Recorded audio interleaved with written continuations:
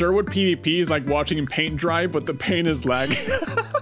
but the paint is lagging. I think you just accurately described what it's like to be fighting in Sherwood Dungeon.